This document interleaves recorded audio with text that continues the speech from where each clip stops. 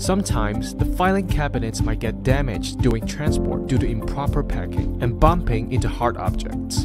And that's going to have consequences to the slide rails in the cabinets. And in order to solve that problem, we can disassemble the cabinet and adjust the slide rails.